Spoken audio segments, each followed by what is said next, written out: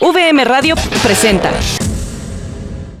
Hola, ¿qué tal amigos? Bienvenidos a C News. Mi nombre es Brenda Quevedo y como cada semana es un placer estar aquí con todos ustedes brindándoles la mejor información. Esta semana en What's Movie on Series, Emiliano hablará de The Circle. Continuamos con Ana Pau y Roa en Chicle y Pega, los mitos más interesantes de Tlaloc y la afantasia. Ron Castro con Eclipse, las noticias semanales, nuevos estrenos y la recomendación de la semana. Arumi Varela con el festival multicultural más grande de México. Luis Elrich con los deportes en la banca y Miguel Hernández con una nueva edición de mitos animalísticos, que va a hablar de la araña. Así que sin más, vamos a comenzar.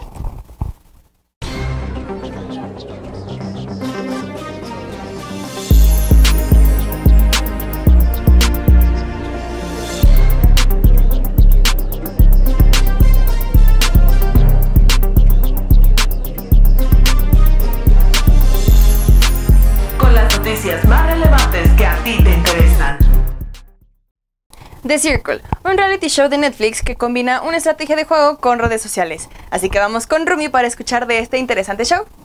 Muchas gracias, Bren. Mi nombre es Emiliano, pero me conocen como Rumi. Y el día de hoy en What's Movie On Series vamos a estar hablando de un reality show de la plataforma Netflix y su nombre es The Circle. Este es un reality show catalogado como competencia social, con la diferencia de que no tienen interacción social cara a cara.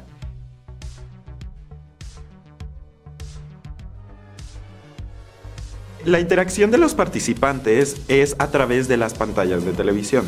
Ellos pueden escoger si van a hacer un perfil real o van a hacer un perfil falso. Esto quiere decir que los participantes pueden entrar siendo ellos mismos, mostrando sus fotos, sus características e interpretándose a ellos, o pueden escoger a cualquier familiar, amigo o conocido que decidan interpretar.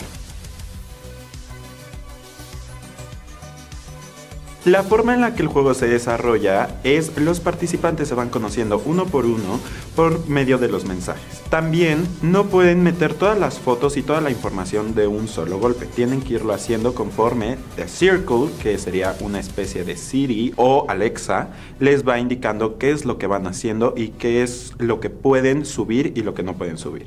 Las interacciones sirven para poder generar alianzas, estrategias de juego y gracias a esto la finalidad es que te vuelvas el influencer. El influencer tiene la capacidad de poder eliminar a cualquier participante de todo el juego.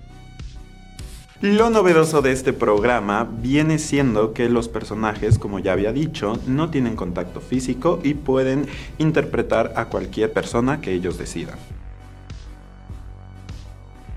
También hay que destacar que este formato se ha vuelto sumamente popular en la plataforma Netflix, llegando ya a 5 temporadas desde su estreno. Y para concluir a esta serie yo le doy un 3 estrellitas de 5. Esto fue todo por What's Movie on Series. Brenda, vamos contigo de regreso. ¿Alguna vez has pensado cómo sería la vida si no pudieras imaginar? ¿Te diste cuenta que la sequía terminó? Vamos con Ana Pau y Roa esta semana en Chicle y Pega que nos van a hablar de la fantasía y los mitos más interesantes de Tlaloc. Hola, soy Roa Y yo soy Ana Pau. y esto es Chicle y Pega, donde aprenderás datos Interesantes. sobre historia Ciencia. y cultura pop. Vamos con la cápsula de esta semana.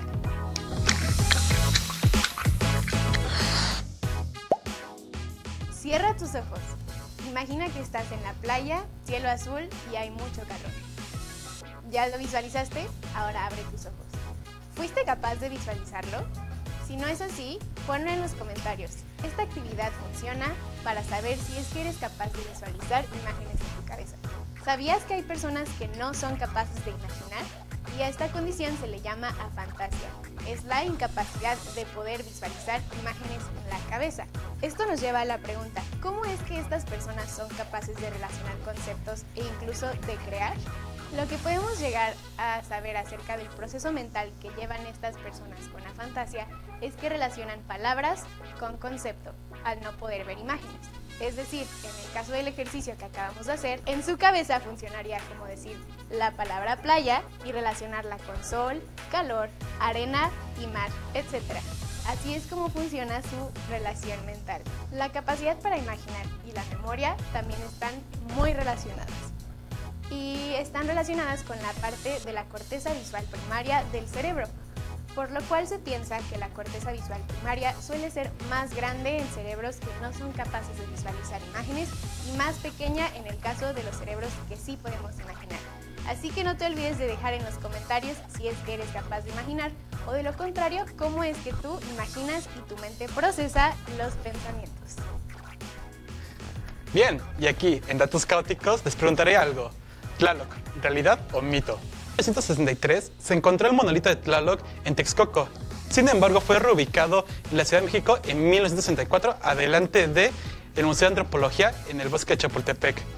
Esto es muy interesante porque dicen que horas después de su reubicación del monolito de Tlaloc comenzó lluvia muy intensa durante varias horas, que llegó de la mañana a la tarde. Y bien, el evento más actual que se le atribuye a Tlaloc fue justamente esta semana o la semana anterior, donde todos sabemos que el lago Cutzamala estuvo a punto de secarse. Sin embargo, una misteriosa lluvia que llegó en la noche comenzó y extendió la vida de este lago. No tanto, pero sí unos dos años al menos. Y esto se le atribuye a Tlaloc. Y después de ese evento, varias personas han hecho varias danzas, especialmente en el área de Texcoco, este, pidiéndole a Tlaloc que llueva y ha llovido, curiosamente, hace dos días. Gracias por vernos. Esto fue Chicle y Pega. La sexta edición del Festival de Culturas Extranjeras se llevará a cabo en Querétaro y será la fiesta multicultural más grande de México. Así que vamos con Arumi a pata de perro para saber más de esta interesante noticia. Hola, aquí de nuevo en este programa llamado Pata de Perro les estaré dando la sugerencia de un lugar en Querétaro, donde habrá la fiesta multicultural más grande de México. Este sexto festival de comunidades extranjeras tendrá un costo de 30 pesos, el cual lo encontrarás del 29 de febrero al 3 de marzo, donde 62 países de América, Europa, Asia y África tendrán muestras de su cultura. Habrá 48 stands donde encontrarás gastronomía de los diferentes países. Desde café turco, postres, arepas, el auténtico chorizo argentino, dulces típicos, cerveza de Polonia y vinos franceses, entre más como artesanías y vestimentas. Encontrarás este festival en el Centro de Congresos de Querétaro. Y no olvides pasar por tu pasaporte porque incluirá los sellos de todos los países que van a asistir. Podrás encontrar este evento de 11 a.m. a 10 p.m. Y la última recomendación del día de hoy va a ser un evento que se llevará a cabo este fin de semana.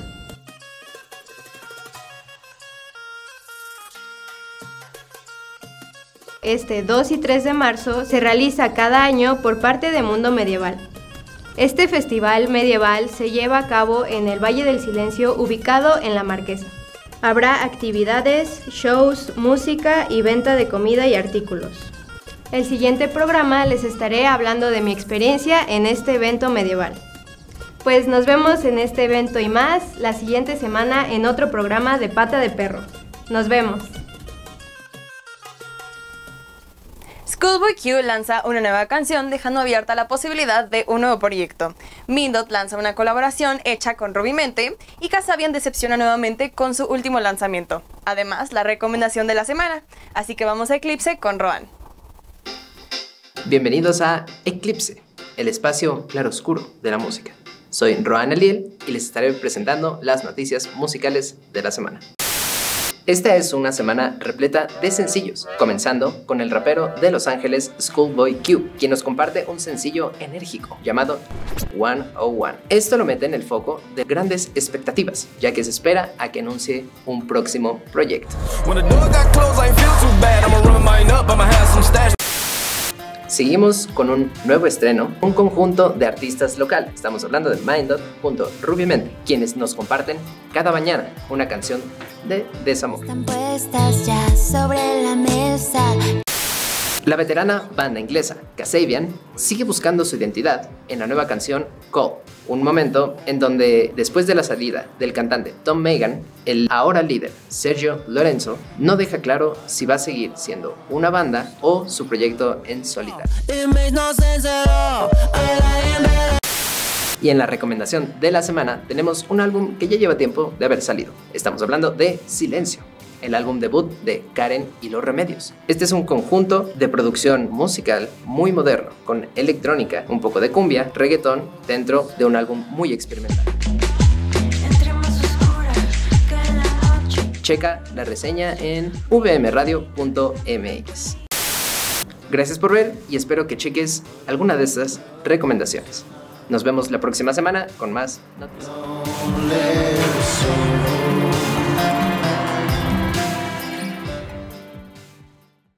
Por si te lo perdiste, Luis Elrich nos trae el resumen de tus deportes favoritos, la primera jornada de la Kings League América, la final de voleibol femenil, entre otras noticias. Así que vamos a la banca.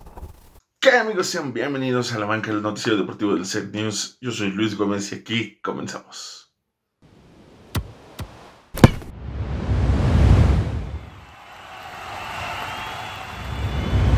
Amigos, pues malas noticias para el mundo del fútbol, ya que el mediocampista francés Paul Pogba queda deshabilitado cuatro años de cualquier competencia deportiva eh, por dar positivo a una prueba de dopaje. Vamos a ver el desenlace de esta nota las siguientes semanas porque eh, el mediocampista va a ir al TAS, que es el Tribunal de Arbitraje Deportivo, a ver en qué le pueden ayudar, a ver en qué, puede resolver. Entonces vamos a estar eh, tocando el tema de Paul Pogba durante las siguientes semanas. La verdad es que es una mancha en la carrera de un muy buen deportista, el cual ya había ganado eh, el Mundial. Entonces, pues, estas manchitas siempre son recordadas en la historia de estos grandes deportistas. Vamos a otro deporte. Amigos, pasando a otra nota, eh, México venció a su similar de Estados Unidos en la Copa Oro Femenil 2 por 0. La verdad es que fue un gran partido para las selecciones mexicanas, poniéndose a tú por tú a las campeonas del mundo. Eh, anotaron dos golazos. El primero fue por parte de la jugadora Valle, que es similar al firma la Gio, firma la Gio. Y el segundo fue un golazo de la jugadora Mayra, que la verdad mandó guardar eh, a contraesquina de donde dispara. Eh, las dos fueron unos golazos. Y lo mejor fue que pues con este triunfo pasamos como primero de grupo en, este, en esta Copa Oro Femenil y nos enfrentaremos a Paraguay. Teniendo también grandes encuentros en las otras llaves. Tenemos el clásico de Conmebol, que es el Argentina contra Brasil. Tenemos Canadá contra Costa Rica y Estados Unidos contra Colombia. Les estamos dejando en pantalla pues, cuáles serían las llaves y los horarios de las siguientes llaves para verlo. La verdad es que van a ser grandes partidos. Eh, obviamente lo mejor siempre para México. Esperemos quedar campeones de esta Copa Oro Femenil. La primera de la primera Copa Oro Femenil. Esperemos que México levante esta copa. Vamos a la siguiente nota. Amigos y por Noticia Express, vuelve nuestro sexy y guapo Choco Pérez. Este jueves se corre la primera eh, vuelta de práctica en el circuito de Bahrein. El viernes se corre eh, esta clasificatoria y vamos a tener carrera en sábado. Sí, es un poco extraño, pero vamos a tener eh, carrera en sábado, 9 de la mañana para nosotros los mexicanos. Podremos ver de nuevo y ya rápidamente, después de tres meses de ausencia, a nuestro hermoso y guapo Sergio Pérez. Vamos a ver cómo le va con Red Bull. Vamos a ver qué tal se preparó Ferrari. La verdad, vienen fuertes. Entonces, Vamos a ver el desenlace de esta carrera y lo vamos a comentar en el siguiente set news. Fue nota rápida. Pasemos a la siguiente nota. Amigos, como les comentamos la semana pasada, fuimos invitados a la primera jornada de la Kings League Américas. La verdad es que estuvo muy bien. Eh, nos llevamos un buen sabor de boca de, todo, tanto transmisión, porque la estuvimos viendo afuera del estadio, porque eh, los combos se vendían por dos partidos, entonces llegamos un poquito temprano, vimos los partidos en la zona de food trucks y la verdad es que muy bien. La comida, eh, los precios de muchas cosas, la verdad es que estuvieron eh, en lo que cabe bien, no, no están tan manchados como en unos estadios de fútbol de verdad. Eh, los partidos muy bien, nosotros pudimos asistir al partido de Peruche Caligari, que es el equipo al cual le vamos. La verdad es que ganamos, se ganó el partido, le ganaron al equipo del Chicharito, que es el Olimpo United, un marcador de 8-3. El MVP de la jornada fue el Shaggy Martínez, exjugador de la máquina del Cruz Azul, y la verdad es que todo muy bien se llevan las palmas este producto traído desde la Kings League eh, Infojobs, que es la Kings League de España. Se, llevan las palmas aquí en Américas. La verdad es que yo lo recomiendo. Recomiendo que algún dominguito este, puedan asistir a este, a este Kings League este estadio. Eh, los boletos salen los lunes. Eh, son preventa Santander. No estamos haciendo ninguna promoción, pero para que lo tengan en cuenta, casi todos los boletos se acaban en preventa. Entonces, un lunes, ya sea que salgan en la mañana o en la tarde, eh, ahí compren sus boletos. La verdad es que es muy buena, muy buena experiencia. Y pues nada, se los dejo a que ustedes decidan. Amigos, hasta aquí la banca, noticiero deportivo del Set News. Eh, la verdad es que fue una banca rápida, pero con noticias muy interesantes, con noticias eh, de último momento. Y pues nada, amigos, recuerden que le pueden dar suscribir al canal, le pueden dar la campanita para que cada vez que subimos video les recuerde que ya subimos Set News nuevo o algún taller, algún curso, algún este, cosas que suben aquí en VM Radio, ¿no? Entonces, no se olviden que vamos a estar con ustedes toda la temporada, pero lo mejor y recuérdenlo siempre, la paz. La paz comienza con una sonrisa. Muchas gracias, yo fui Luis Gómez, hasta luego. Esta semana en Mitos Animalísticos hablaremos de los mitos más populares que han arruinado la reputación de las arañas a lo largo de los años. Así que vamos con Miguel a ver qué nos trae esta semana. Hola, ¿qué tal? Yo soy Miguel Hernández y en esta nueva edición de Mitos Animalísticos nos dedicaremos a desmentir los mitos más famosos que han afectado la figura de las arañas en el paso de los años. También conocidos como Araneae o Aranea, las arañas pertenecen a un grupo de invertebrados con más de 40.000 especies existentes en el planeta. Poseen cuatro pares de patas, las cuales les resultan muy útiles para tejer sus redes, caminar, saltar y trepar por superficies. En general, poseen de 6 a 8 ojos, aunque claro, esto puede variar dependiendo de la especie. Por ejemplo, tenemos un caso en el que ocurre que existe una araña sin ojos, la cual es conocida como Sinopoda scurrion, y esta prefiere cazar en lugares completamente oscuros, prefiriendo no exponerse para nada ante los rayos de la luz solar. Ahora hablemos de sus mitos más conocidos. Número 1. Las arañas no son insectos, más bien están identificadas dentro del grupo de los arácnidos. De acuerdo a un artículo de National Geographic publicado por Sophie Quaglia, explica que las arañas son responsables de mantener a raya a cientos de millones de insectos, asimismo de mantener a raya también a posibles plagas agrícolas. Número 2. Las arañas no tienen el más mínimo interés de atacar a los seres humanos. A decir verdad, ni siquiera tienen el interés de interactuar con nosotros. Asimismo, estos arácnidos no suelen nutrirse de la sangre humana, como sí lo pueden hacer los mosquitos, las garrapatas o las chinches. Número 3. Nos tragamos una araña cuando dormimos.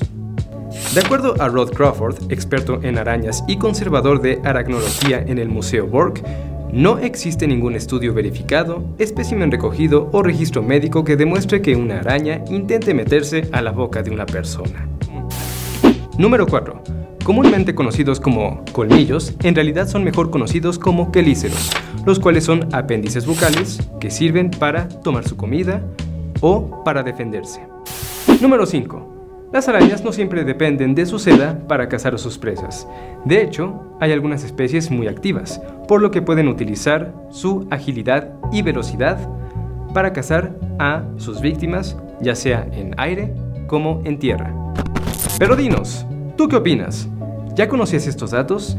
Te invito a que nos compartas tus opiniones y otros mitos que no se hayan mencionado en la cápsula acerca de las arañas en la caja de comentarios y a que nos sigas en las redes sociales de VM Radio. Gracias por ver este video. Yo soy Miguel Hernández y nos veremos en la próxima edición de Mitos Animalísticos. Muchas gracias por sintonizar esta edición de C News.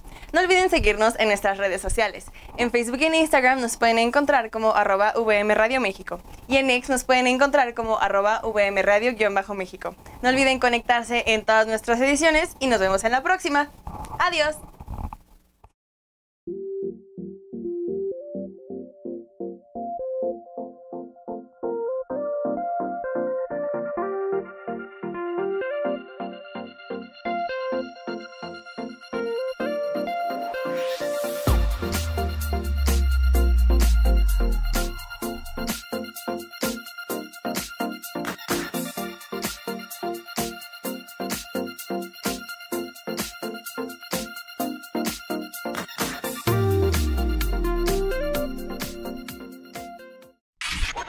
Producción de VM Radio.